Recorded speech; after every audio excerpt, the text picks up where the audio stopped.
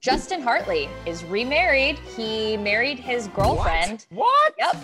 Yep, he married his girlfriend, Sofia Pernas. They made their red carpet debut at the MTV Movie Awards. They both had wedding rings on. This was pretty pretty quick because he just got divorced from Chrishell three months ago. Less Oh than my three months ago. How it was much official. He separated from his wife Chrishell at the end of 2019 and then was dating Sofia, I believe, about six months later, and now is married. Yeah, Who wants But to be married that with bad? If you got it so wrong just then, then there's a chance you're getting it so wrong right now. So why would you jump back into it that so quickly? You know what I mean? But you're looking at it from his perspective.